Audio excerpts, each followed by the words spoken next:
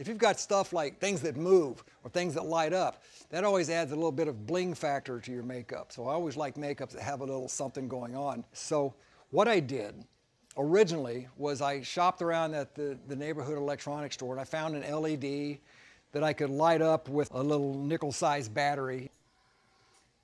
Let me put my glasses on. I'm not a Terminator, I can't see through things. So this is a, it's called a 2032, CR 2032, and that's the, it's an Energizer battery. I got it at my, my local hardware store. You know, they, they come in a sheet of like four or five of them, and they last forever. And the way I tested it to make sure it worked was I simply got an LED and put both surfaces so the LED lights up. So at least you know it works on the LED. There's 12 volt LEDs and then there's three and a half volt LEDs. So you want to get the lower voltage because you don't want to run a 12 volt line up someone's back and you know blind them because the LED is so bright. And the cool thing about LEDs is, uh, especially online where you have to buy them now, I found this, this whole little box of stuff was like 10 bucks. And they're all like a 3.2 voltage that runs off of a battery. So I've got tiny ones, I've got yellow, green, white, all kinds of colors. So something like this is, is great if you can find them online. Look for them like that. These other little components, I mean, if you're dumb and stupid, you could tape a wire to both sides of this and it would work.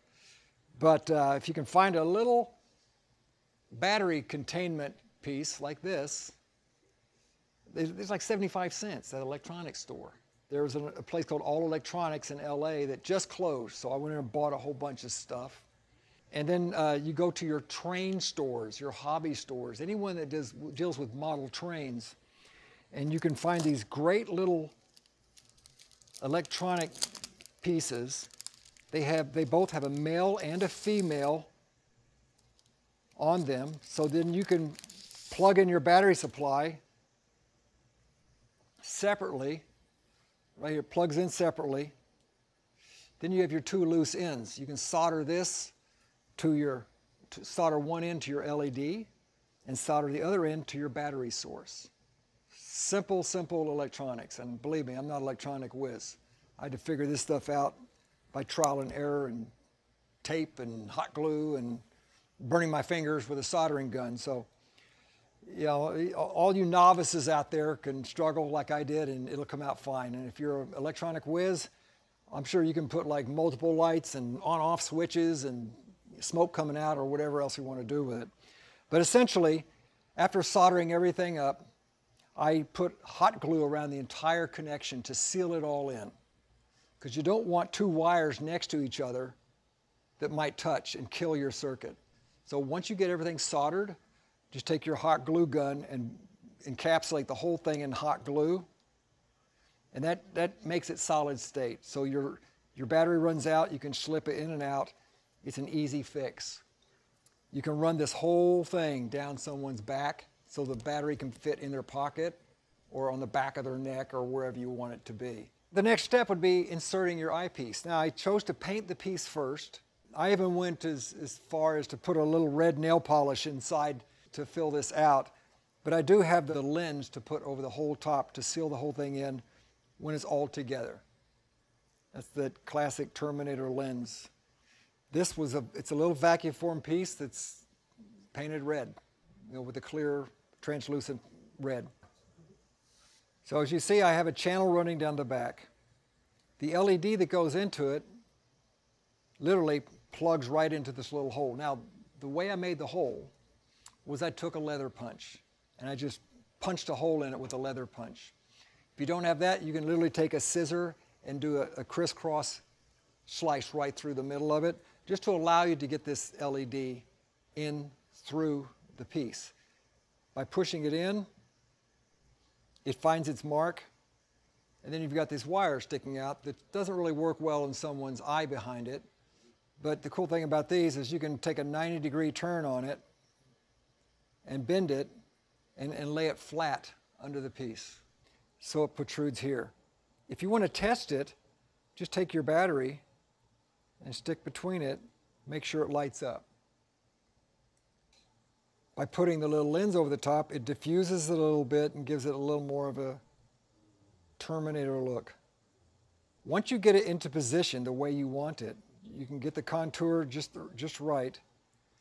It fits perfectly along the underneath the surface and then passes through the little slot right there. At this point, you want to remove it and then solder on your wires.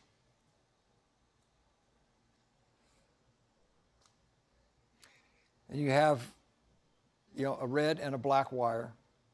It's just a soldering trick. It's you know, putting some flux on, soldering the two pieces together, and then you end up with a soldered piece onto your LED. Does it matter which uh, side? No, it doesn't matter. It's just it's this it's the at the other end. I've, I've found that out. There is a, a positive negative to the light, but once you solder it, red's going to be red and black's as long as you match up that and the battery's in right, you, you'll be fine. Yeah, that was a big question. I didn't want to solder the wrong way. It's really difficult to solder a, a, a fine, thin wire. And the reason I use a fine thin wire is for low profile. Once it's in, once it's soldered and in place, then you can reinsert it. Make sure the alignment is properly. You can bend the wires, you can tweak them however you want, as long as it lays and follows the contour of the back side of the piece. Then I just take a little bit of silicone, you know, caulking silicone, and just butter a little bit over it just to seal it in. And give it a give it a little time. It'll set stick there's also a material called silpoxy. It's quite expensive. I think you know caulking silicone is just as good. I just butter it on hit it with a blow dryer and it sets in about a half an hour and then you can proceed after that so what you would have is a sealed down silicone piece with your wires extending off with a male or a female plug. I like the I think I like the male plug hanging off so I can plug into it later. So now what we've got, as I've described, I pre-did this so you can see, it's all sealed in. It's not coming loose. My wires protrude through the little groove in the side of the prosthetic, and it's, it's ready to go. You add your cap, and you've got your completed piece. Always test it. I've got my my battery pack in. I plug, match them up. Now you have, you have light. So that's the piece. And notice how low profile the whole thing is. I even put a little shrink tubing on there that I found, but it's not that necessary. It's such a small wire. And it doesn't, it doesn't produce any heat. Um, on the face, and it's in place, with my eyes open, I can see a little bit of red light there. But with my eye closed, I see nothing.